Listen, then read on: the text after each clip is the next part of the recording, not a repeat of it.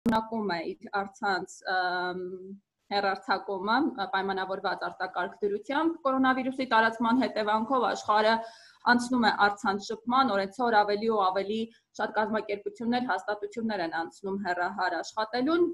եւ տեղեկատվական տեխնոլոգիաների ոլորտում, համացանցի ոլորտում ինչ խնդիրներ, մարտահրավերներ կան, այս թեմայի առնչությամբ այսօր կապ ենք հաստատել կանադայում բնակվող մեր հայրենակցի Դավիթ Սանդուղչյանի հետ Պարոն Սանդուղչյան, խնդրում եմ նախ ներկայացրեք, հա համացանցը որքանով է պատրաստ, որքանով կդիմանա այս արտակարգ դրության պայմաններում այսպիսի լարվածությանը եւ արդյոք կդիմանա տրաֆիկի աճին, արդյոք ինտերնետային ծառայություններ մատուցողները ի վիճակի են ապահովել առավելագույն տրաֆիկի սպառում այս արտակարգ ժամանակահատվածում, խնդրեմ։ Շնորհակալություն։ Համացանցը ի սկզբանե ստեղծվել էր որպես հերահաղորդակցության միջոց ու եղանակ, այդպես ասենք, որը որ նախատեսված է եղել հենց ճգնաժամային իրավիճակների համար։ Այսինքն, եթե գիտեք, համացանցի այդպես ասենք հեղինակները եղել են եղել են ԱՄՆ-ի պաշտպանության նախարարության գաղտնի հետո գաղտնի լաբորատորիաների, հա, աշխատակիցներ, ինստիտուտների, որոնք որ այդ միջոցը միջոցը մշակել էին հենց միջուկային պատերազմի դեպքերի համար, երբ որ ենթադրվում էր, որ բոլոր հաղորդակցության հաղորդակցության միջոցները կարող են լինել ծանրաբերված, ոչնչացած եւ այլն, որ եւ համացանց այդպիսի մի մի համակարգ էր, որը թույլ կտար պահպանել հաղորդակցությունը։ Հետո հետագայում հասկացան, որ դա ավելի, այդպես ասենք, լայն կիրառում կարող ունենալ, ստեղծվեց առաջին ցանցերը եւ այլ եւ այլ պատմությունը ինձ թվում է չարժի մանրամասն պատմել, այսինքն համացանցը ինքը մշակված է եւ դրա դիզայնը հենց այդպես է որ հնարավորություն ստեղծի մարդկանց հաղորդակցվել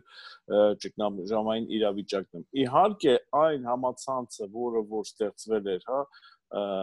այն ժամանակ ու այսօրվա համացանցը դա շատ տարբեր բան է, որովհետև այն ժամանակ խոսք էր գնում ընդամենը նամակագրության, հա, ինչ որ պրիմիտիվ ձայնի հաղորդման մասին, այսօր մենք արդեն ունենք եւ համացանցային հերարցակում, հա, վիդեո, աուդիո մենք դիտում ենք բազմաթիվ հերոստական հերոստալիկներ, համացանցով մենք խաղում ենք խաղեր, աշխատում ենք եւ այլն, ասինքն այսօր հնարավորությունը շատ ավելի շատ է։ Տեխնիկապես, ընդհանրապես, եթե խոսքի համացանցը ասելիս մենք նկատի ունենք իհարկե ես ենթադրում եմ որ մեր ունկնդերներին հետաքրքրում է հիմնականում Հայաստանի տեխնիկական հնարավորությունը, որտեղ աշխարհում տարբեր երկրները տարբեր վիճակում են, դա հիմնականում համացանցի, այդպես ասենք, թողունակությունը, հա, հնարավորությունը երկրում կապված է ինտերնետ ծառայություններ մատուցող ընկերությունների մոտ արկա թողունակության մարուխների, կառուցվածքների եւ այլն եւ այլն։ Հայաստանը բավականին լավ ներողություն, պարոն Սանտոշյան, ես հենց այդ հարցն էի ուզում նաեւ տալ, արդյոք բոլոր երկրներում է նույն խնդիրը արծած շփման դեպքում նույն մարտահրավերները, թե դա կախված է թե որքանով է նաեւ զարգացված տեղեկատվական տեխնոլոգիան, համացանցը տվյալ երկրում իհարկե իհարկե դա կախված է թե որքանով է որքանով տեղական օպերատորները պատրաստ են հա մեծ ծանրաբերվածությունների եւ այլն օրինակ 3 եթե չեմ սխալվում թե 3 հա 3 3 հաղորդում էր կարծեմ CNN-ով թե ամերիկյան ալիքներից մեկը որ դիտում էի այդտեղ բավական երկար հարց զրույց էր ամերիկյան կարգավորման ԱՄՆ-ի կարգավորող մարմնի մարմնի հետ, այսինքն իրենց հանրային ծառայությունը կարգավորող FCC, հա, Federal Communication Committee ներկայացուցիչի հետ, որը որ ասում է, որ բնականաբար իրենք ԱՄՆ օպերատորները բավական մեծ հզորություններ ունեն, իրենք բարբերաբար ստուգում են հաղորդակցում են օպերատորների հետ, բազելով թե ինչպես ինչպեսին իրավիճակ է, եւ այլն, դա Ամերիկայում իհարկե բավականին հզոր կապորներին Հայաստանում ես ասեմ որ բավականին զարգացած է այսինքն եթե մենք համեմատենք ում հետ համատենք, չգիտեմ։ Ну, Եվրոպայի հետ իհարկե շատ ավելի քիչ, Հայաստանում կա բավարար բավարար այդպես ասենք բավարար տեխնիկական միջոցներ, որոնք որ արագ կարելի է ընդլայնել, արագ կարելի է ստեղծել այդ թողնակությունները նույնիսկ եթե նույնիսկ եթե կրկնապատվի կա տրաֆիկը։ Այդպես ասենք, գիտեք, դա կապված է շատ կապ հիմնականում ինտերնետ հաղորդակցության Հայաստանի պարագայում, հա, խոսքը Հայաստանի մասին է, որովհետև Ամերիկայում, Եվրոպայում մի քիչ իրավիճակը ուրիշ է, այդտեղ այդպես ասենք առանձնահատկությունները Հայաստանի առանձնահատկությունը այն է, որ Հայաստանը ունի բավականին խնդրահարույց ելքի ելքի թողնակություն խոսքը գնում է այդպես կոչված արտաքին կանալների մասին, արտաքին կապուղիների մասին, որը մեզ մոտ բոլորը անցնում են Վրաստանի միջոցով, ինչպես գիտեք, այսինքն ուրիշ տարբերակել չկա Պարսկաստանում ինտերնետ տրաֆիկը այդքան էլ զարգացած չի, ասիկան կապուղիները հիմնական գնում են Հայաստանի միջոցով, իրանք ունեն արևելանկային, բայց ոչ այդքան զարգացած։ Այսինքն Հայաստանը ունի մեկ երկիր տարանցիկ երկիր դա Վրաստանն է այդերով կան եթե չեմ սխալվում 3-ից 3 գլոբալ ծառայություններ մատուցող ասինքն մարուղային կապուղիներ որոնցից մեկը Հայաստանը չի օգտագործում որովհետև անցնում է դա անցնում է Ադրբեջանով Հայաստանը հիմնական օգտագործում Հայաստան ասելով ես նկատի ունեմ իհարկե Հայաստանի օպերատորներին, հա Հայաստանի օպերատորները հիմնականում օգտագործում են երկուսը այսինքն մենք շատ մեծ կախվածության մեջ ենք իհարկե Վրաստանի թողունակության հետ ու իհարկե դրանք թանկ են երբ որ դուք ունեք բավական սահմանափակ ընտրություն միշտ ձեր այդպես ասենք գործընկերը հնարավորություն ունի ձեզ թրատրել մրցունակություն երբ չկա մրցակցություն ինչպես? Երբ մրցակցություն մրցակցություն չկա, այո, այդտեղ գնի թելադրանք է սկսվում եւ այսօր որոշ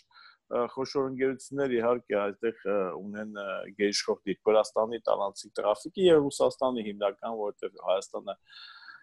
քանի որ հիմնական Հայաստանի կապները Ռուսաստանի օպերատորներն են կազմակերպում նաև Ռուսաստանը մեծ դեր է խաղում։ Այսինքն դա կապված արտաքին ու արտաքին կանալները Հայաստանի համար միշտ թանկ են եղել, միշտ, միշտ, միշտ հիմնական այդ խնդիրը եղել նաև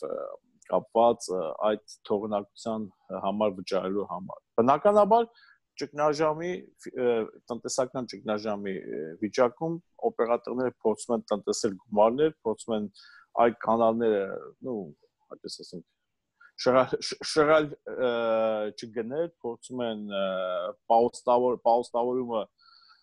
նվազեցնել, բայց ես ասեմ, որ Հայաստանի ես իհարկե տեղյակ չեմ թե որտեղ կա որտեղ է հիմնական ծառաբերվածությունը այսօր Հայաստանում, այսինքն մարդիկ ինչ ինչից են օգտվում, ես տեղեկություն չունեմ։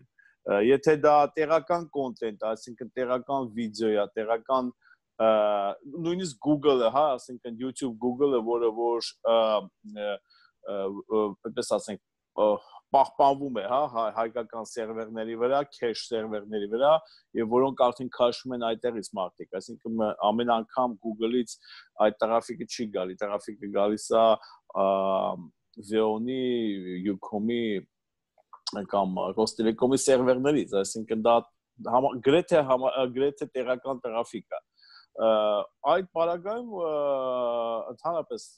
միջազգային կապաղները կապ չունեն Ինչ թվում է Հայաստանի այսօրվա իրավիճակը կապուղին է բավականին լավ, բավական լավ։ Իսկ ընդհանուր առմամբ հետաքրքիր է աշխարհում, աշխարհի մակարդակով, հա, եթե դիտարկենք, ինչ նոր մտահղացումներ, ինչ նոր լուծումներ են առաջարկում, ի վերջո նոր իրավիճակ է, այսպես ասած կարելի ասել նոր կյանքում ենք, հա, համացանցային ապրում։ Նոր են գտել, որովհետև օրինակ YouTube-ը եւ Netflix-ը կազմակերպությունները առաջարկեցին որակի քիչ թե շատ, հա,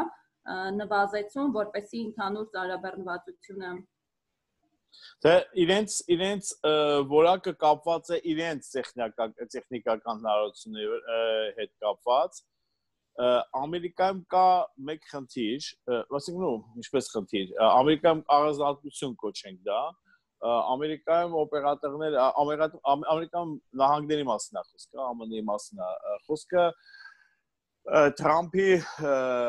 Թրամփի կառավարությունը վերացրեց այդպես կոչված ինտերնետ ցանցի չեզոքությունը, այսինքն internet neutrality-ը կոչվում, հա, ցանցի տեխնիկական չեզոքությունը։ Դա նշանակում է, որ օպերատորները կարող են Netflix-ից եւ այլ, այդպես ասենք, content, հա, բովանդակություն արտադրող ընկերություններից լրացուցիչ վարձ պահանջել իրենց բովանդակությունը ավելի արագ, հա, կամ ավելի որակյալ հասցնելու համար։ Նախկինում ինտերնետ, այդպես ասենք, պրովայդերները եւ ինտերնետ օգտագործողների միությունները իրենք բավականին մեծ պայքար տարան թե Ամերիկայում, թե Եվրոպայում այդ ցանցի չեզոքությունը պահպանելու կամ նվաճելու համար, հա եւ եւ ժամանակին ժամանակին Ամերիկայում բավական երկար պայքարից հետո դատական վեճերից հետո ֆեդերալ հարթակցան հանձնաժողովը FCC-ին ստիպված էր ընդունվել, որ ընդունել, որ ինտերնետ օպերատորները, այսինքն ինտերնետ ծառայություն մատուցողները իրավունք չունեն խտրական մոտեցում ցուցաբերել այս կամ այն բովանդակությանը, կոնտենտին, այսինքն իրենք չեն կարող ընդհանրենք հատուկ դանդաղեցնել կամ լրացուցիչ վճար խնդրել Netflix-ից կամ Facebook-ից կամ Google-ից, որպեսզի արագացնեն իրենց կամ լանեն իրենց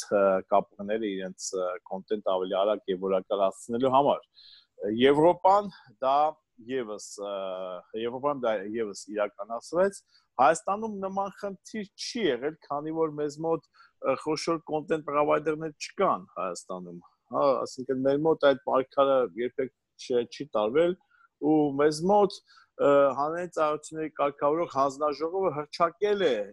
ցանցի չեզոքության սկզբունքը, բայց իրավական ակտերում, այսինքն օրենքով դա ամրագրված չէ, դա իմ կարծիքով խնդիր է Հայաստանի համար։ Այսօր գուցե չէ, բայց հետագայում եթե եթե նման դա գիտեք ինչպես խնդիր դա խնդիր է այդպես ասենք մեզ համար սպառողների դա խնդիր է բովանդակություն ստեղծող կոնտենտ ստեղծողների համար դա խնդիր չի օպերատորների համար եւ հակառակ օպերատորները փորձում են ավելի շատ գումար քաղել բովանդակություն ստեղծողներից եւ հակառակը բովանդակության ստեղծողներն աշխատում են օպերատորներին այդքան չվաճառեն ես որպես նախկին օպերատորի իրավաբան իհարկե միշտ օպերատորի կողմից եմ եղել բայց դա որպես սպառող եւ ինտերնետ ոլորտի ասենք ինտերնետ ոլորտում վաղուց աշխատող իրավաբան հասկացել եմ, որ դա կարող է բացասական նաև հետևանքներ ունենա զուտ զուտ ինտերնետի գնի բարձրացման եւ այլն։ Այսինքն այստեղ պետք է պահպանել ողջամիտ ինչ որ հավասարակշիռ, հա Դուք քիչ առաջ նշեցիք, հա, նայած կոնտենտը տվյալ երկրում ինչ կոնտենտ է օգտագործում։ Այ հետաքրքիր է փաստորեն ինտերնետ կապի ոչ թե ընդհանուր խափանման կամ որոշակի թեկուս, հա, խափանման մասին հնարավոր է խոսքը լինել, այլ առանձին հավելվածների, որոնք տվյալ երկրում ավելի շատ են օգտագործվում, կամ եթե այս պահին բոլորը անցել են այսպես ասած արցանց ուսման, ուսուցման, այս դեպքում օգտագործելով օրինակ Zoom համակարգը, այսինքն հնարավոր է զուտ համակարգերի, այսպես ասած, կախվելու, հա, խնդիր լինի հավելվածների, ոչ թե ընդհանուր։ Դեք դա կապված է թե ինչպես է հենց համակարգի դիզայնը։ Ես անկեղծ ասած չգիտեմ ինչպես է աշխատում Zoom-ը, այսինքն Zoom-ի կառուցվածքը, սկզբունքները ես չգիտեմ, ես քիչ թե շատ գիտեմ այլ այլ հավելվածների աշխատանքը Zoom-ը ինձ համար ես չգիտեմ չեմ օգտագործում ճիշտ ասած երբեք չեմ հետաքրքրվել բայց կա սկզբունքները մի քանի մոտեցումներ, հա, կան ուղակի կապի մոտեցումներ, ասենք երբ որ դուք կապնվում եք հենց երկու կողմերի միջև եւ տրաֆիկը փոխանակվում է անմիջապես, կա երբ որ փոխանակվում է սերվերի միջոցով, կան տարբեր եղանակներ, այսինքն դա կախված է թե ինչպես է դիզայն արած կամ ինչպես է կոնկրետ կոնկրետ կիրառվող ծրագրի ճարտարագիտական, այնպես ասենք, կառուցվածքից ինչ վերաբերվում է ինտերնետի տրաֆիկին Հայաստանում որքան որ ես եմ տեղյակ հիմնական տրաֆիկը նո այդպես ասենք եթե դուք եթե խոսքը գնում է այդ արտակարգ իրավիճակում հա այդ ինքնամեկուսացման արդյունքում առաջացող տրաֆիկին ինձ թվում է հիմնականում դա պետք է լինի ուսանողական, հա, տրաֆիկ, այսինքն ուսուցման ուսուցման ծրագրերը, որոնք որ առանձնապես ինձ թվում է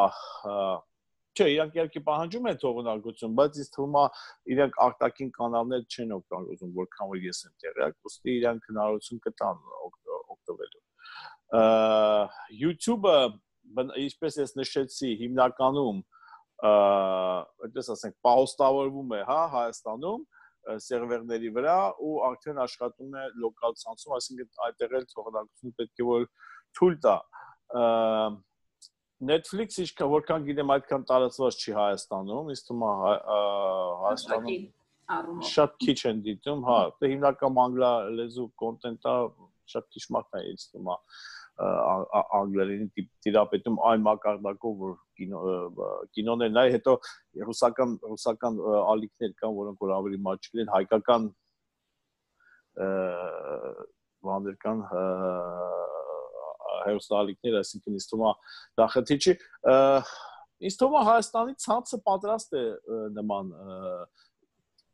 այն ժամանակ երբ ես աշխատում եմ Հայաստանի ցանցը բավական զարգացած է թե Վիոնը նախկին Armentel-ը, հա, թե Ucom-ը, թե Rostelecom-ը բավական մեծ աշխատանք կատարեցին, ցանցեր կառուցեցին եւ այն ես կասեի միշտ դա թերօգտագործված էր այս ցանցերը, այսինքն հզորությունները ավելի շատ էին, շատ անգամ քան թե պահանջարկ Եվ եթե ամփոփենք այս ամենը հետաքրքիր է ինչ ազդեցություն կունենա, փաստորեն արցանց աշխատանք, արցանց ուսուցում եւ կարելի ասել նույնիսկ արդյունավետ է, մարդիկ միգուցե հասկանան, որ լրացուցիչ ռեսուրս ժամանակ էին ծախսում եւ այսպես ավելի արդյունավետ է օգտագործվում ժամանակը։ Սա արդյոք կարող է հետաքրքիր է հետագայում բերել որոշակի փոփոխությունների մեր կյանքում, ինչպես նաեւ հենց համացանցի առումով Իսկ թվում միանշանակ այդ ամենը դրան էր գնում, այսինքն արցանց աշխատանքի միտումները կային, տենդենսները կային, մենք դա գիտեինք, ասենք մարդիկ ավելի շատ էին նախընտրում կազմակերպել վիդեոկոնֆերանսներ, ավելի շատ նախընտրում էին աշխատել հերահար Ոչով, սակայն իհարկե մարդու բնավորությունը բավականին պահպանողական է եւ շատ հիմնարկներում մանավանդ ղեկավարները որ չէին տենում իրենց աշխատանքիստերին իրենք չէին կարա պատկերացնել թե դա, դա փոխում է աշխատանքային ոճը իհարկե դա փոխում է աշխատանքային ոճը գիտեք ես միշտ աշխատել եմ մի ոլորտում այսինքն իրավաբանությունը մի ոլորտ է որտեղ ավելի շատ կարևոր արդյունքը կանցնի ներկայությունը աշխատողը այսինքն իմ աշխատակիցները միշտ ծրված են եղել դատարաններով չգիտեմ այդտեղ հիմնարկներով եւ այլն այսինքն ես իրանք երբեք չէի դնում նեղ չնայած պահանջում էի հատ որ ժամանակին աշխատակից բայց ասիկն արդյունքը այդտեղ ավելի կարևոր է կարևոր է ժամանակին ասինքն արդյունքի հասնել ու եւ արդյունքի որակները կան իհարկե արտադրական process-ներ որտեղ ներկայությունը կարևոր է հա այսինքն օրինակ ինժեներական գծեր եւ այլն զուտ արտադրանքի, հա, ապրանքների արտադրման տեսակետից։ Բայց ընդհանրապես տնտեսությունը գնում է դեպի այդպես կոչված գիտելիքների վրա հիմնված, հա, տնտեսության դեպի գիտելիքների վրա հիմնված տնտեսություն, այսինքն հիմնականում այսօր massական massական միտում է մարդկանց աշխատանքը ռոբոտներով եւ տարբեր մեխանիզմներով, ծրագրերով, հա, փոխարինելու, այսինքն այսօր կան ենթադրություններ, որ մի քան մի շարք մասնագիտություններ կվերանան, որ արհեստական ինտելեկտի ես ասենք զարգացման հետ մեկտեղ կվերանան մի շարք մասնագիտություններ, չգիտեմ, հաշվապահներին եմ ասին են խոսում, որ ամենա արագ վերանա հաշվապահությունը, տարբեր վերլուծական այն այն աշխատանքները, որոնք որ չեն պահանջում ինչ որ ստեղծագործ աշխատանք, որոնք որ ավելի շատ մեխանիկական եւ ծանր աշխատանք են պահանջում մտավոր իհարկե դրանք փոխարինեն ինտելեկտուալ դա արհեստական արհեստական ինտելեկտը փոխարինի ծանր աշխատանք ինչ որ ծանր ռոբոտներ եւ այլն եւ այլն մարդը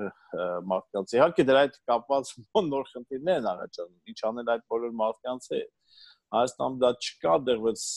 նահանգներում արդեն կան խանութներ առանց վաճառողների դուք մտնում եք եւ վերցնում եք ձեր ապրանքը այդտեղ որոշակի ձևով վճարում այսինքն նշանակում է որ մի շարք վաճառողներ ազատվել են աշխատանքից ու այդ խնդիրը կա մարդկության արժեվ է այդ Այսինքն այսօր դա Եվրոպայում լուրջ խնդիր է, դա Ամերիկայում լուրջ խնդիր է, ինչպես զբաղեցնել այն մարդկանց, որոնք որ ընդգրկված են եղել, չունեմ, սպասարկման, բանկային համակարգում։ Այսօր արդեն բոլորը նախընտրում են բանկային գործարքները կատարել արցանց այսինքն դա նշանակում է որ մեծ քանակով բանկային աշխատակիցներ աշխատակիցներ ազատվում են աշխատանքից դա այլ խնդիր է բայց միտումը դա այդ ճգնաժամ, այսինքն կորոնավիրուսի հետ կապված, հա, այդ համաճարակի հետ կապված ճգնաժամ ինքը ոնց որ ինքը բրթեց այդ ավելի շատ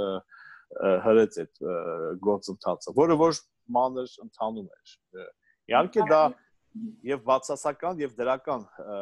հետևանքներ կունենա, դրական առումով որ շատ հիմնարկներ կհասկանան, որ իրենք կարող են հարցանց աշխատել, սկսեն տնտեսել բնականաբար ինչ որ գումարներ, օֆիսային տարածքային տարածքների, տրանսպորտի եւ այլ տեսակի ծախսերը, կառավարությունները կհասկանան, որ հնարավոր է ինչ որ գործընթացներ գործընթացներ տեղափոխել արցանց եւ երևի խրախուսեն տարբեր տեսակի էլեկտրոնային ծառայությունների նո որոնք որ զարգանում են բավական արագ, բայց ավելի կարագացնեն, օրինակ կարող են մի օր մենք կարող ենք արդեն տեսնել էլեկտրոնային դատարաններ, հա, հերահար դատական նիստեր, ինչ որ տենց մի արագ զարգացում կարող է եւ այդ ոլորտը ապրել դրա հետ մեկտեղ իհարկե մենք